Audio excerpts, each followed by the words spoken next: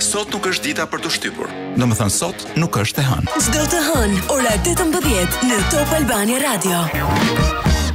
Dhe ku jemi të pajisur me shpata, domethënë shpata, me, me studime, Blerina ka një studim të vetin, unë kam një studim timin këtu, ta, jo se kemi bërë vetë, po, po si me thënë, i kemi hulumtuar dhe gjetur, flasim për burrat. Flasim për një um, studim që është bërë vite më parë, një pjesë të tij të parën e cituam pak më përpara, pra cilat janë profesionet në cilat gratë ë duket se tradhtojnë më shumë, të paktën në Shtetet e Bashkuara të Amerikës, tani do të shohim çfarë ndodh me burrat dhe në vend të parë renditen ato që kanë Gjithmonë duke menduar që profesioni mund të ndikojë pak në në po themi në në tradhti bashkëshortore. Po, për disa variabla. Po ky pra do të ishte ky do të ishte një manual që duhet të botohet sepse njerëz që e vënë re që kanë nevojë të tradhtojnë, bëjnë mirë që të zgjedhin profesionin e duhur, pra që të jenë brenda.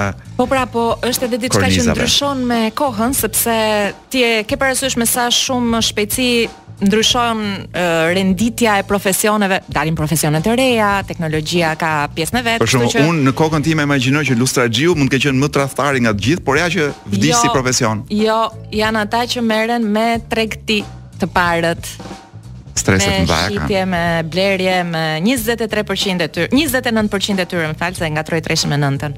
U lëviz pak kandari këtyre që merren me tregti dhe nuk kanë faj. Nuk kanë faj.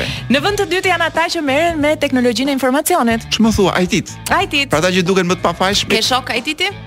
Të gjithë IT i kam. Dhe kështu duken burra të ndershëm në pamje të parë, nuk e dija që 10% e tyre ë kanë këtë wow. cen. Atëherë Andi, Albani, Gjergji, t'ju vijë zor. Na keni gënjyer gjithë këtë kohë. Ju dinim burra të mirë dhe të ndershëm. Po ju qenkeni profesion i përdalë.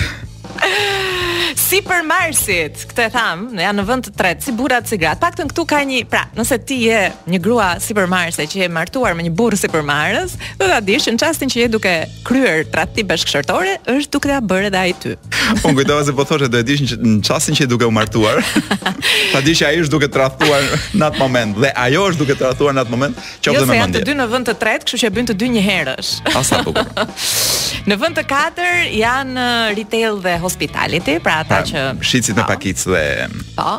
Dhe këta që merren me hotelerinë ndoshta. Financierët, po, mendoj. Wow, financierët 8% e tyre janë vend 5. Në vend të gjashtë janë marketingu dhe komunikimet. Më habisin këta pra që qekan kaq të ndershëm.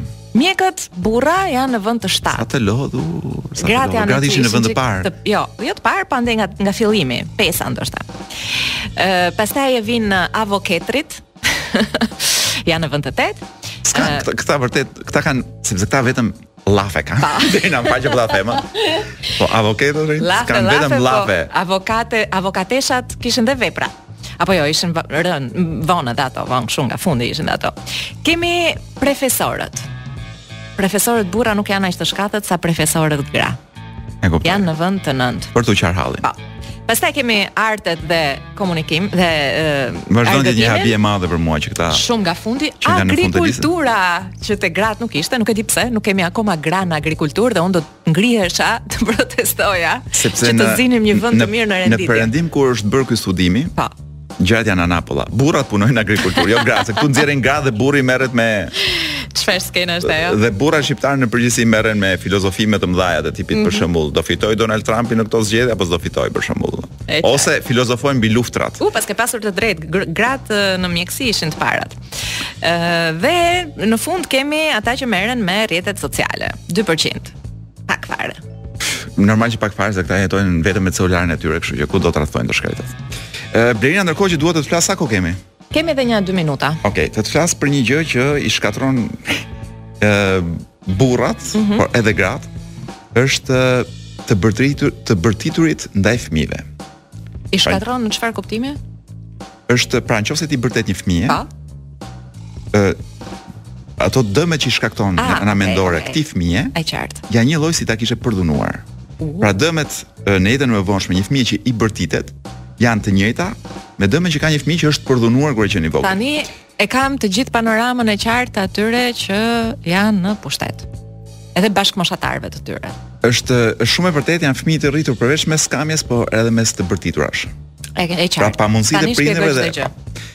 Sigurisht gjithçka ka një arsye. Po. Dhe po madje ka edhe një kam këtu një listë me me pasoja, cilat janë pasojat për fëmijët të cilëve u është bërtitur kur kanë qenë fëmijë. e pra janë abuzuar e, verbalisht. Ë për shembull gjëja e parë që kanë është në një përqindje shumë të lartë është ka një mirëqenie mendore të ulët, shumë të ulët. E dyta është që bëhen përdorues droge. Ë pianec, pra kanë tendencën që këta që u bërtitet të bëhen gjithë pianec. ë një pjesë e mirë shumë e lartë, një 5% e tyre që u bërtitet, pra u, u kanë bërtitur si fëmijë, përfundojnë në burg, përfundojnë të dhunshëm ose dhunohen. S'di të them më shumë? Sepse ndërkohë më duhet, duhet ta mbyllim këtë Absolutisht. Shkojmë në pak muzikë edhe rikthehemi. Për të bërë një mbyllje finale të këtij